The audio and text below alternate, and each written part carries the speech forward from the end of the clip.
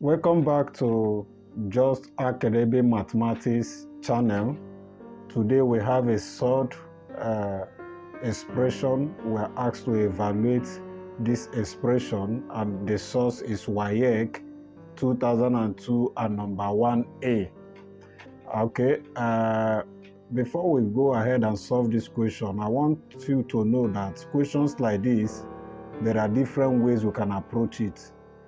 Someone may decide to go ahead and find the LCM. Another person can decide to go ahead and open the bracket. Whichever one you are doing, as far as you are taking the right step, you will arrive at the same answer. So let's just go ahead and um, open the bracket. So let's open the bracket. This is 3 over root 3 multiplying 2 over root 3.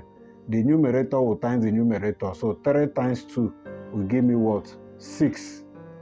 And now we have over root 3 times root 3 is root 9.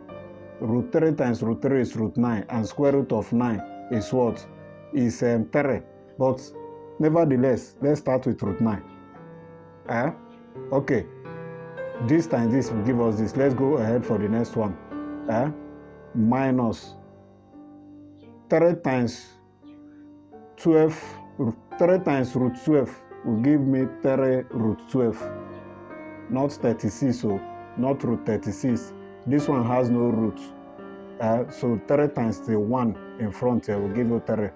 Uh, so 3 times root 12 is 3 root 12 over root 3 times 6 will give us um, 6 root what? 3. So let's take it a step further. This is now 6 over square root of 9 is what? 3 minus this 12 we can simplify it further as what? As 4 times 3 because 4 is a perfect square inside 12 all over what? All over 6 root what? 3 so 6 divided by 3 will give us what here? 2 minus this is square root of 4 is what?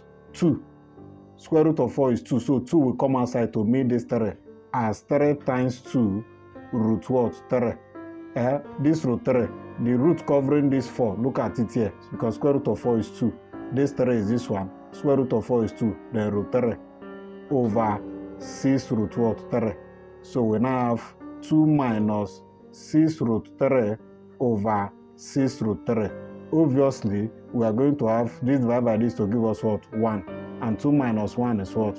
1 as your answer. So this is the procedure we have decided to take. Like i said you can use another method and you will still get 1 thank you for watching. Remember to subscribe to our channel for more videos like this. And also remember to share this video. See you in our next class